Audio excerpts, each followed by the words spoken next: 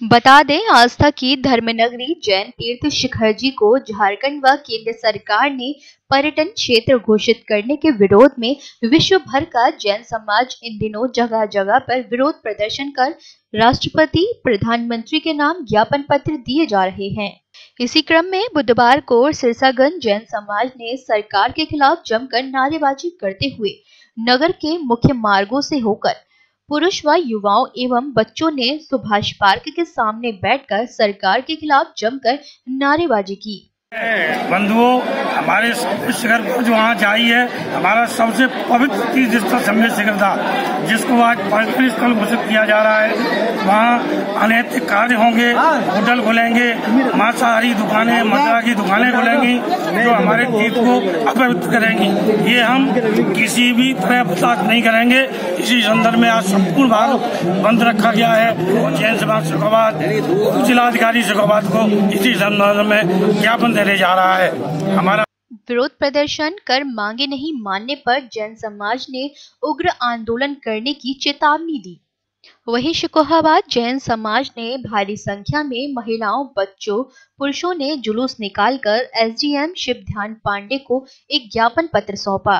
Sir क्या कहना चाहेंगे? देखिए जैन समाज के लोग जो है वो बीसवें जैन तीर्थंकर श्री अनंत संतों की मोक्ष स्थली श्री सम्मेद शिखर पारसनाथ पर्वतपात गिरिडीह, झारखंड की स्वतंत्र पहचान, पवित्रता एवं संरक्षण हेतु श्री शिखर जी बचाओ आंदोलन के संबंध में इन्होंने अपना ज्ञापन दिया है। ज्ञापन को उचित फोरम पर भेज करके और जो भी यथोचित कार्रवाई नियमानुसार होगी वो कराई जिसमें जैन समाज ने भारत बंद के समर्थन में राजनीतिक क्षेत्र एवं कई अन्य सामाजिक संगठन के लोगों ने भी जैन समाज का समर्थन कर युवाओं ने कहा, सरकार अगर इसे पर्यटन क्षेत्र घोषित करती है, यहाँ पर लोग खुलेआम बीड़ी, सिगरेट तम्बाकू मांस, मदिरा का सेवन करेंगे।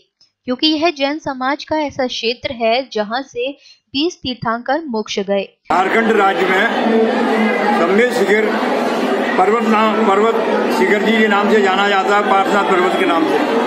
वो जैन धर्म का अनाथ काल से तीर्थ रहा है, जिसमें दिगंबर, मुनि, बीस तीर्थ अगर मोक्ष गए जैन समाज के लिए कण कण पवित्र है। हम उस पर रात को दो बजे चढ़ के वंदना करते हैं और सत्ताईस किलोमीटर की हैं कि जब तक हमारा तीर्थ क्षेत्र हमें नहीं मिल जाएगा, हम इसी तरह से एकत्रित हो गए सरकार को ज़ोर ज़ोर से ये आह्वान करते रहेंगे कि हमारा तीर्थ हमें वापस दिया जाए। आज सब समाज शिकोहाबाद एकत्रित होकर एक जलूस के रूप में यहाँ के उप जिलाधिकारी महोदय को एक ज्ञापन दे रहे हैं कि वो हमारी बात प्रशासन, शासन प्रशासन तक पहुँचाए ऊपर और हमारा तीर्थ क्षेत्र हमें वापस मिले। इसी के लिए आज हमारी पूरी समाज के लोग, बच्चे, बूढ़े, बुज़ुर्ग सब यहाँ एकत्रित हुए हैं, महिलाएँ बालिकाएँ सभी अपने अपने प्रस्थान प्रतिष्ठान को बंद करके आज यहाँ एकत्रित हुए वहीं शिकोहाबाद में शैलेंद्र जैन ने कहा, आज भारत वर्ष में जैन समाज के प्रत्येक प्रतिष्ठान बंद है।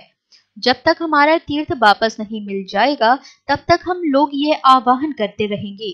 हमारा शाश्वत तीर्थ सरकार वापस करे, नहीं तो विश्व भर का जैन समाज सड़कों पर उतरकर किसी बड़े आंदोलन करने को विमर्श हो जाएगा।